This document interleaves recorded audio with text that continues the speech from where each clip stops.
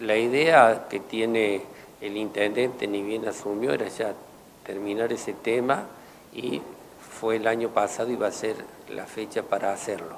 Pero bueno, nos atropelló el tema de la pandemia con muchas prioridades, así que está en carpeta para que este año se haga el contrato y es una de las prioridades que tiene el Ejecutivo. ¿Sería un hecho concreto de que sale este año, Juan? Mira, también lo pensé el año pasado, creo que en enero, febrero hablamos... bueno, si no sigue la pandemia.